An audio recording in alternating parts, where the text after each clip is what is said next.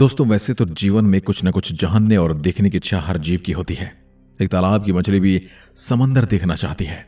यदि बात मनुष्य की की जाए तो इसके दिमाग में तो पूरे ब्रह्मांड को जानने और इसे देखने की इच्छा हमेशा से रही है। तभी तो प्राचीन काल से हमारे ऋषि मुनि ग्रहों नक्षत्रों पर अध्ययन करके ग्रंथ लिखते आए हैं। पर आज का मनुष्य दो कदम आगे जाकर ब्रह्मांड को अपनी आँखों से देखना चाहता है। आज से लगभग चार दशक पहले भी वैज्ञानिकों ने हमारे ग्रह पृथ्वी के बाहर देखने के लिए एक उपाय सोचा और सौरमंडल में मौजूद सभी ग्रहों और उनके चांदों और हमारे सूर्यमंडल की सीमाओं को देखने के लिए एक ऐसी चीज़ का निर्माण किया जिसके सहारे हम सौरमंडल के बाकी ग्रहों पर और सौरमंडल के बाहर क्या है, ये देख सकें और उनका अध्ययन कर सकें। एक अंतरिक्ष मुसाफिर को सफ़र के लिए तैयार किया गया, जिसे हम वॉइजर टू के नाम से जानते हैं। जिसका सफ़र पिछले छियालीस सालों से बिना रुके, बिना थके आज तक जारी है। जिसने हमें हमारे पड़ोसी ग्रहों, शुद्र ग्रहों, उल्काओं और भी न जाने कितने रहस्यों से रूबरू करवाया है। इस अंतरिक्ष यान के योगदान को यह मानव जाति जब तक इस धरती पर है, तब तक याद रखेगी। इसने अपनी यात्रा के दौरान हमारी आँख और कान बनकर हमें सौरमंडल और इसके बाहर के अनेक ग्रहों और उनके चंद्रमाओं की ऐसी ऐसी तस्वीरें भेजी हैं, जो हम कभी कल्पना भी नहीं कर सकते थे।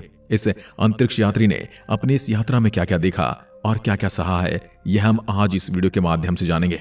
तो चलिए शुरू करते हैं एक ऐसा सफ़र जिसमें हम एक अनदेखी, अनजाने और वीरान दुनिया के वो रहस्य देखेंगे, जो हमें इस अंतरिक्ष यान ने दिखाए हैं। इस अंतरिक्ष मुसाफिर ने दिखाए हैं। नासा के कार्यालय में सभी वैज्ञानिक बड़े उत्साहित और इस मिशन को लेकर थोड़े चिंतित भी थे। नासा ने एक साथ दो मिशन तैयार किए थे।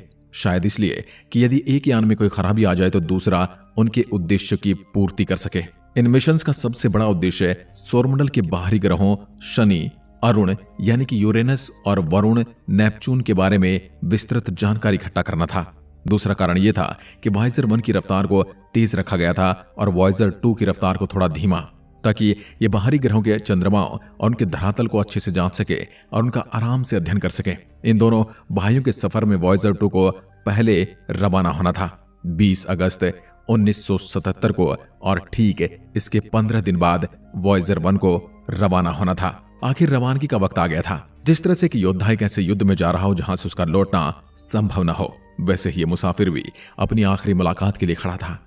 वैज्ञानिकों के साथ साथ पूरी दुनिया से विदा करने और इसके सफ़र की कुशलता की कामना कर रही थी। दिन था शनिवार और तारीख थी 20 अगस्त 1977 की। अमेरिका की अंतरिक्ष एजेंसी नासा ने फ्लोरिडा के केप कैनावरल से वॉयजर टू को लॉन्च कर दिया, जिसे एक ऐसी यात्रा पर जाना था जिसका कभी कोई अंत नहीं होगा। और साथ ही साथ यह हमारे सौरमंडल और ब्रह्मांड के नए नए रहस्य को भी उजागर करता हुआ एक दिन अनंत ब्रह्मांड में कहीं खो जाएगा। और इस दौरान यदि किसी सभ्यता को मिला, जो इसके इंसान की तरह इसके अंदर भेजे गए संदेश को पढ़ पाए तो शायद यह हमारी दुनिया की तरफ़ से उस दुनिया को एक संदेश होगा, जिसका शायद कोई जवाब कभी भविष्य में हमें मिल भी जाए।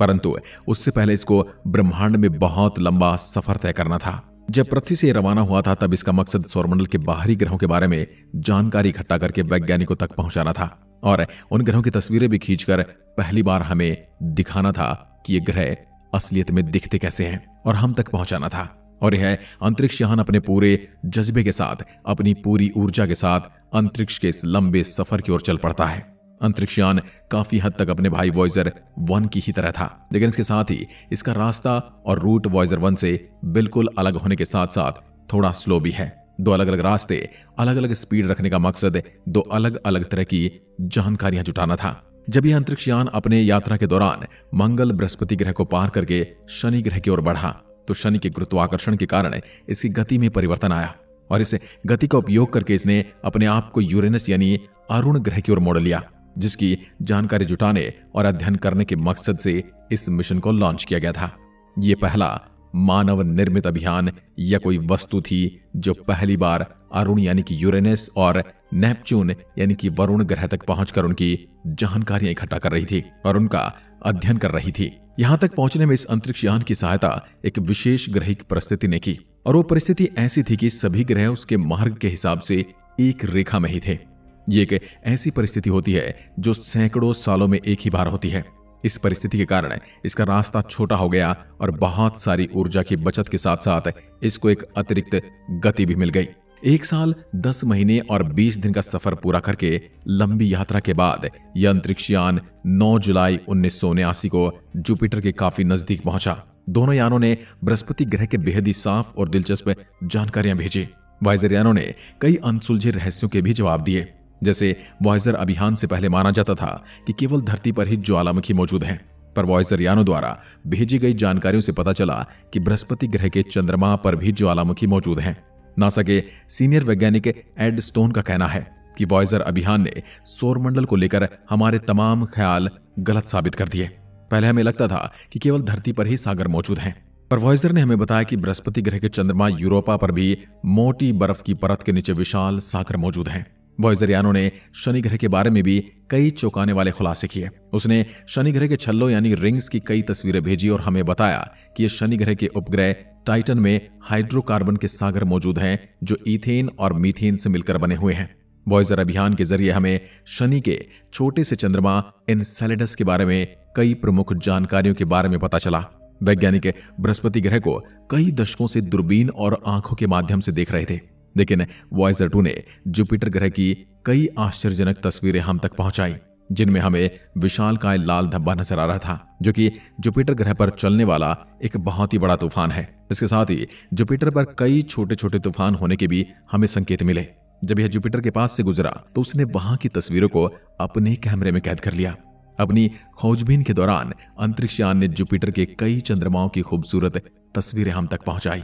सबसे ज़्यादा हैरान करने वाली खोज जुपिटर के चंद्रमा आयो पर सक्रिय ज्वालामुखी थी, जिससे निकलने वाला लाव और धुआँ सतह से 300 किलोमीटर तक फैला हुआ था, जिसकी अधिकतम गति एक किलोमीटर प्रति सेकंड थी। इस वोल्कानो से निकलने वाले पदार्थ गंधक, ऑक्सीजन, सोडियम जुपिटर ग्रह से लाखों किलोमीटर दूर तक पाए गए हैं।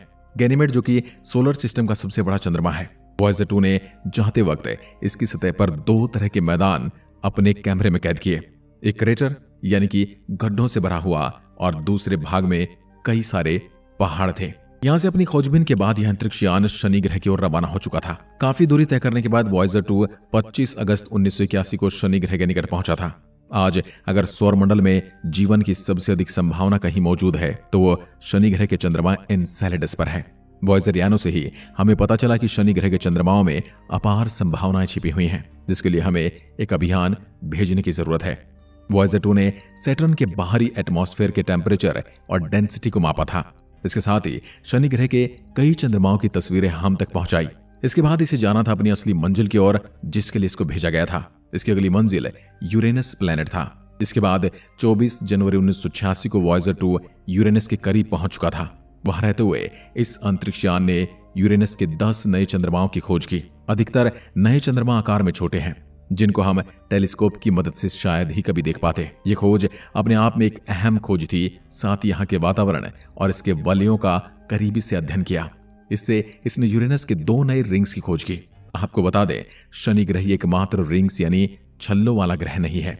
यूरेनस के भी छल्ले हैं, पर ये छल्ले शनि ग्रह के छल्लों के मुकाबले बर्फ़ के छोटे छोटे पार्टिकल से बने हुए हैं। यूरेनस के पाँच बड़े चंद्रमाओं में से सबसे अंदरूनी मिरांडा नामक चंद्रमा पर 20 किलोमीटर गहरी नहरें पाई गई हैं, जो भूगर्भीय हलचलों से बनी हैं। इसके बाद यह मुसाफिर अपनी अगली मंजिल की ओर चढ़ पड़ता है, जो कि नेपच्यून प्लैनेट था। काफ़ी टाइम अंतरिक्ष में यात्रा करने के बाद यह यान 25 अगस्त उन्नीस सौ नवासी को नेपच्यून के पास पहुँचा।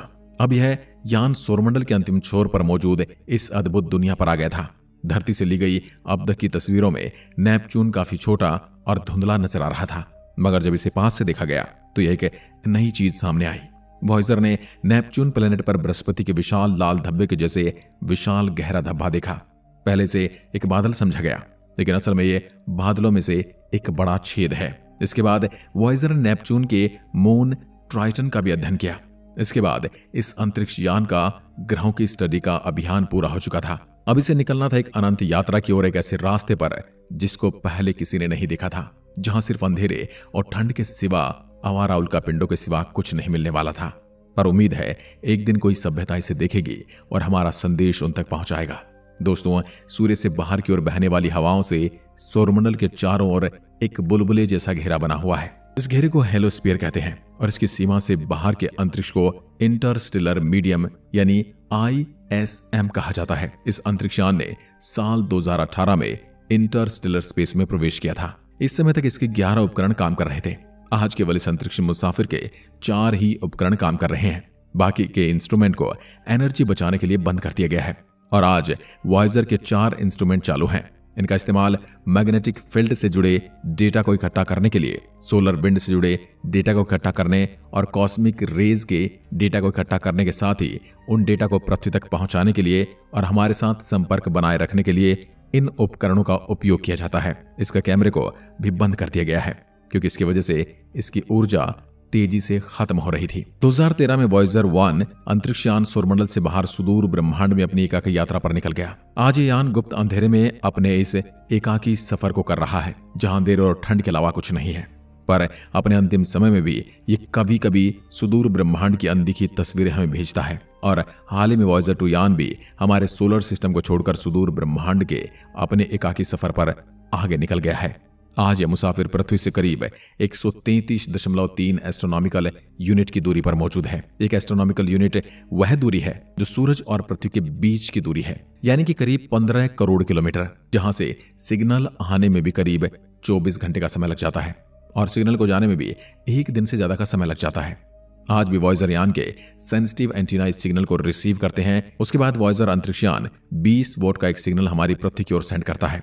जो इस घोर अंतरिक्ष में यात्रा करता हुआ कमज़ोर पड़ जाता है और जब तक इस सिग्नल हमारी पृथ्वी पर आता है, इसे डिटेक्ट करना काफ़ी चुनौतीपूर्ण हो जाता है, क्योंकि सिग्नल की फ्रीक्वेंसी काफ़ी कमज़ोर हो जाती है।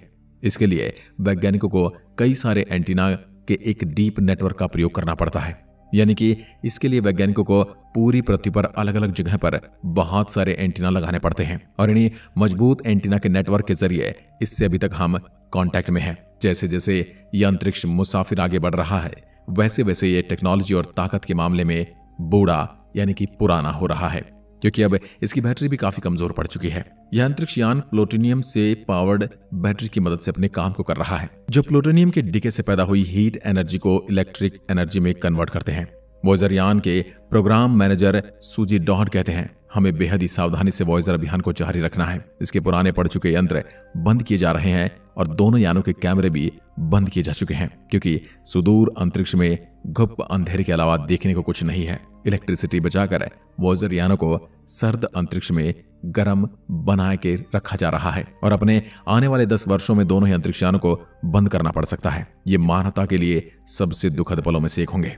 हालाँकि तब तक ये दोनों ही यान अपनी बेहद ही दिलचस्प ज़िंदगी का सफ़र पूरा कर चुके होंगे। दोनों ही अंतरिक्ष यान आने वाले कई सालों तक अंतरिक्ष में ऐसे ही मौजूद रहेंगे। इनके इंस्ट्रूमेंट को तो बंद कर दिया जाएगा, लेकिन इनके सफ़र को नहीं रोका जाएगा। इनका सफ़र फिर भी इस अनंत ब्रह्मांड में जारी रहेगा। शायद किसी और सभ्यता को मानवता के दूत मिल जाएँ। फिर वो इन यानों में लगे ग्रामोफोन रिकॉर्ड के ज़रिए मानवता का संदेश पढ़ सकें। वॉइजर अभियान के ज़रिए ये दोनों अंतरिक्ष मुसाफिर अंतरिक्ष में हमेशा के लिए अमर रहेंगे। दूसरे शब्दों में कहें तो वॉइजर अभियान ने मानवता को हमेशा के लिए अमर कर दिया है। आज की वीडियो में बस इतना ही। आपका क्या मानना है? क्या कोई ऐसी एलियन सभ्यता या सिविलाइजेशन एक दिन ज़रूर इन यानों को पकड़ लेगी और उनसे हमारे रिकॉर्ड को लेकर हम तक कोई संदेश पहुंचाएगी या फिर यूँ ही ये गुमनाम अंतरिक्ष में कहीं खोकर रह जाएँगे। कमेंट में लिखकर ज़रूर बताएँ। एक बार फिर मिलते हैं। तब तक के लिए नमस्कार। जय हिंद। जय भारत।